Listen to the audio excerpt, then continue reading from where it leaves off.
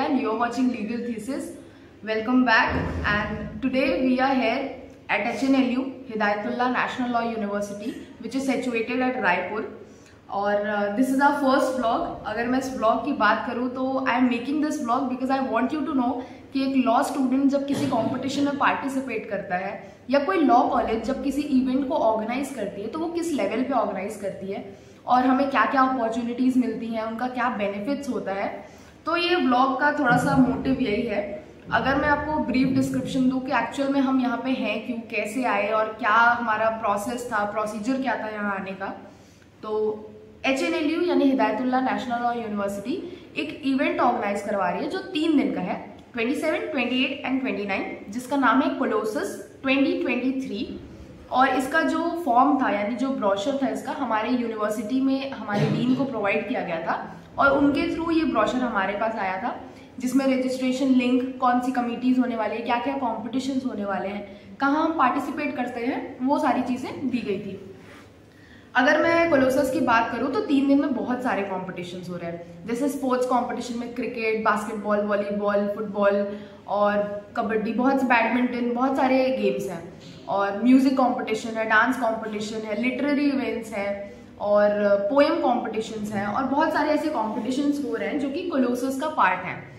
इसी का पार्ट है एक और कॉम्पिटिशन जिसका नाम है I M U N C Y P international model united nations conference youth parliament अब इन दोनों में ये दो नाम है। I M U N C use किया जाता है जहाँ पे हमारे पास इंटरनेशनल कमेटी होती है, जैसे यूनाइटेड नेशंस जनरल असेंबली और यूथ पार्लियामेंट हम उसे कहते हैं जो इंडियन कमेटीज होती है, जैसे लोकसभा, विधानसभा, ये सारी कमेटीज अब ये कंपटीशन होता क्या है? थोड़ा सा मैं समझाने का ट्राई करूँगी।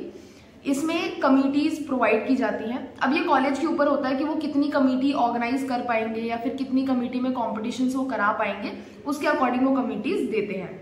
अब अगर एच की बात करें तो यहाँ पे छह कमिटीज हमें प्रोवाइड की गई थी। पहला था यूनाइटेड नेशंस जनरल असेंबली दूसरा है लोकसभा, तीसरा है छत्तीसगढ़ विधानसभा, चौथा है जी ट्वेंटी और पांचवा है स्टेक होल्डर्स मीट और छठवा है इंटरनेशनल प्रेस ये सभी कमिटीज में अलग अलग एजेंडाज दिए गए थे। अगर मैं लोकसभा की बात करूँ तो इसका एजेंडा था one nation one election Chhattisgarh की बात करूँ, छत्तीसगढ़ विधानसभा की तो इसका था ensuring good governance and maintaining transparency in government appointments ऐसे हर कमिटी के अलग अलग एजेंडाज हैं। ये जितनी भी कमिटीज हैं, इनका जो वेन्यू है, वो डिफरेंट है। हर कमिटी का जो सेशन होगा, वो अलग अलग जगह पे होगा और इनका वेन्यू हमें प्रोवाइड कर दिया गया है।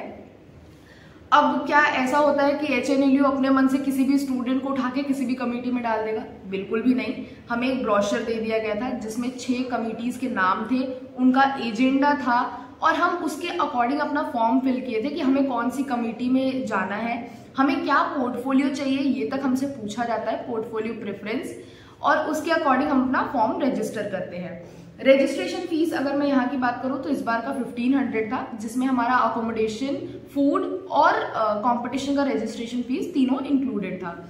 अगर अकोमोडेशन की बात करूँ तो हम गर्ल्स हॉस्टल में स्टे कर रहे हैं। एक रूम में दो या तीन पर्सन स्टे कर रहे हैं और खाना मेस का है।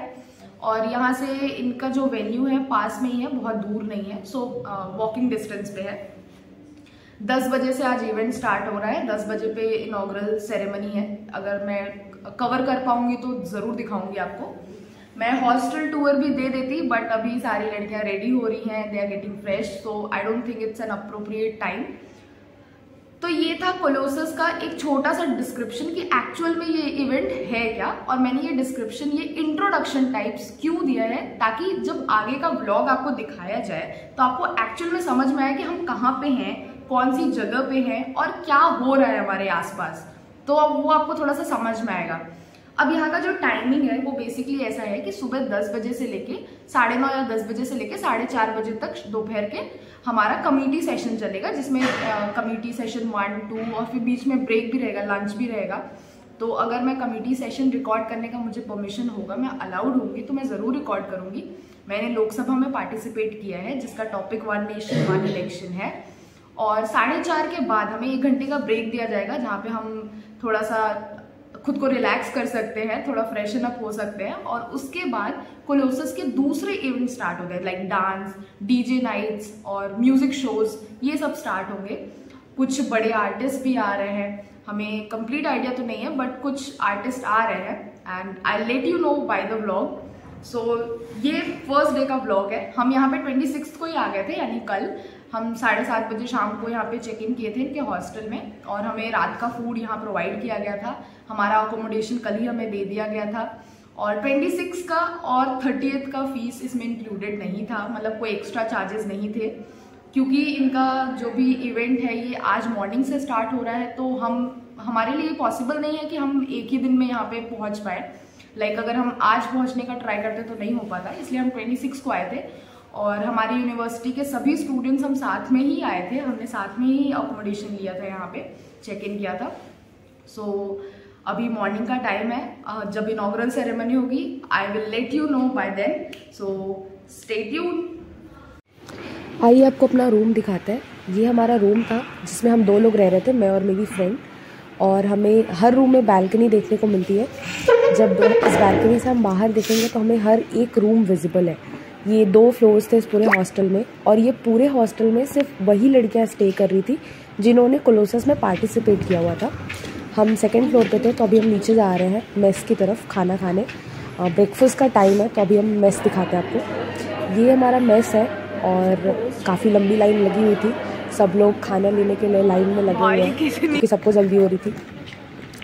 ये कोलोसस का ग्राउंड है अगर आप देखोगे तो वहाँ जहाँ पे बस खड़ी हुई है, वो स्टार्टिंग पॉइंट था, वहाँ से हमने एंटर किया था। और इनका पूरा जो एरिया है ना, वो सर्कल में है।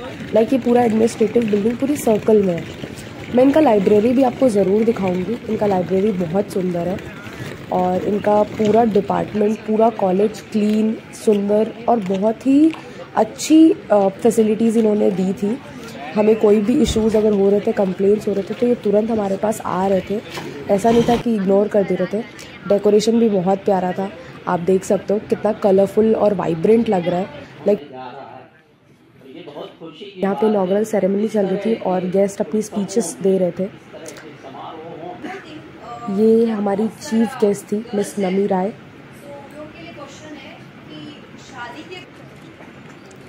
यहाँ पे सारे गेस्ट को मोमेंटो दिया जा रहा था।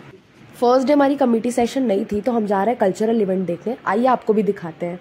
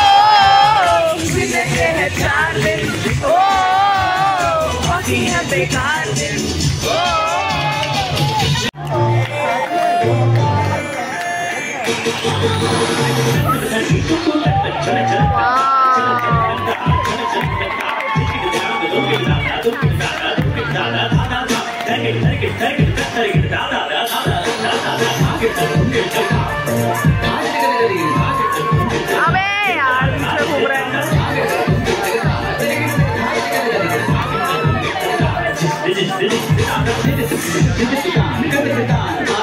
भाई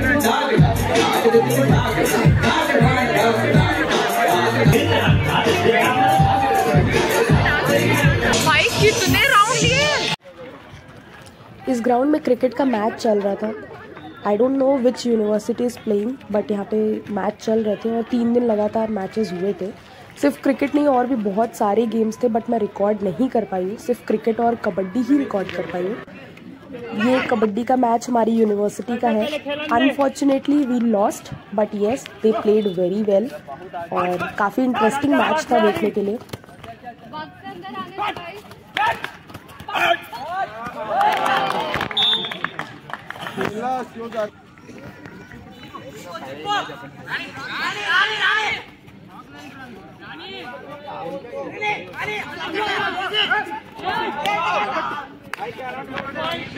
शाम छः बजे से स्टेज शो स्टार्ट हो गए थे। बहुत सारे बैंड्स ने परफॉर्म किया and the crowd was going literally crazy आइए हम आपको भी एक्साइटमेंट लेवल दिखाते हैं।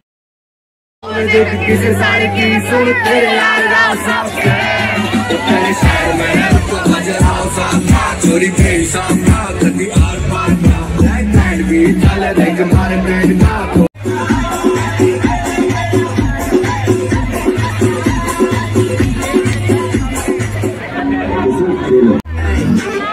I'm on that geek, geek, freaking technology, technique, neek.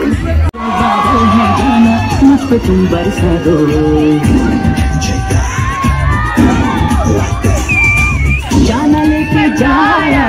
तेरा ये दीवाना जाना तुझ पे मिट जाएगा। तेरा ये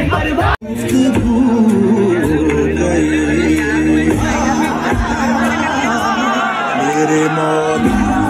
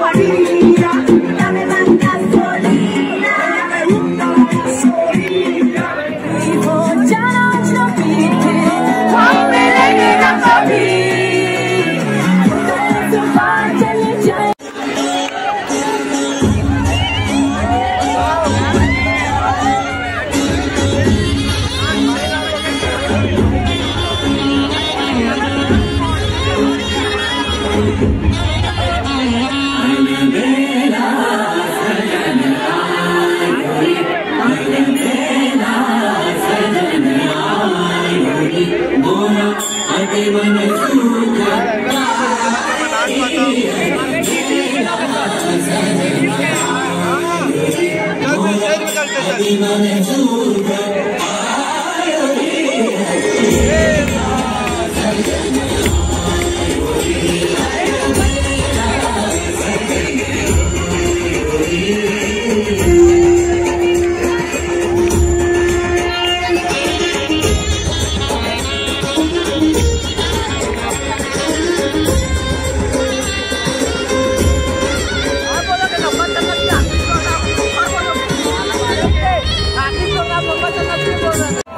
सच है समय का भी सब दोष है।